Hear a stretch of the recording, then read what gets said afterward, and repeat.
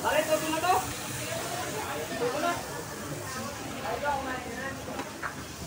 Wala na siya, wala tayong asawa.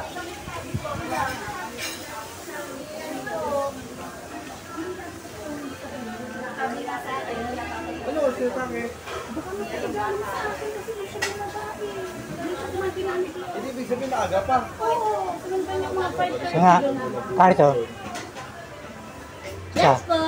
Best tatay. 40 ya, 40. sa. Lubutan ako, sinabing patay na. Oo Hindi nga kami makapaniwala kay KD. KD yung bakla. Yan, anak ni nanay. Tapos sabi ko, pwede ka mag-picture. Ang nakakilabot kasi, nagpunta pa talaga sa akin. Ano niya? Ah, sa kanin. Sa kanin. Sabi ko, saan ka nito magpaalam? Sabi ko, pinapansin. Hanggang sa sinundan niya nga ako sa first meeting ni Gloria. Eh, kaya napatigil, wala nang magdadakot ako. Sabi ko, na nga ako sa pinatao, kung ako pinapansin. Ako kasi kanina, kaka, pag ano kasi mag-ganong oras, nakain niya sa akin dito. Ang damo sa asawa ko. So sabi ko, Tapos pagbalik ko, pagkukunin ko na yung basura ng, Oo. ng, ano, ng bulaklak. nagkagulo na. Hindi, ang sabi sa akin, wala ka nang katulong. Bakit? Galing pa kayo niya kay Maggie. Dami kay Maggie din mo. Eh, paano Arnel? Uy, Arne. Saan yung buburo yun? Taga saan ba yun? Kailangan ko pumunta doon. Baka multuin ako nun ah. Dapat ikaw ba Kami yata pumunta ko rin yun. Saan kaya yung bahay mo? Sabi ni Kate dito sa umboy, basta pag may tarpaulin, yun na yun.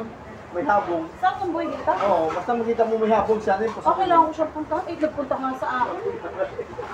Talagang ako lang ang pinuntahan niya doon. Biniro pa nga ako ni Nanay Gloria. Habi, akala ko naman kung sino yung kausap. Tapos nabalita ko, oh, Kasi ay, natake sa pwesto niya. bababa na doon sa may hagdan. Nakaupo daw. Nakahihihi ng doon. Sabi ni Nanay na na. Pero sabi ko sa akin, ikaw lang tinutulungan niya. Hindi natulong sa iba.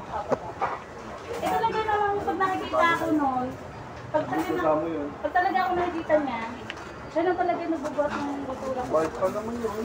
Sabi niya, ako na, ako na, kasi mabigat, gagawin niya sa akin. Tapos biglang ninunuli. Sabi ko, nino, paalam lang, pumunta pa sa akin. Sabi ko, hindi kami nagkita. Kahapon, hindi kami nagkita. Ano na lang ko,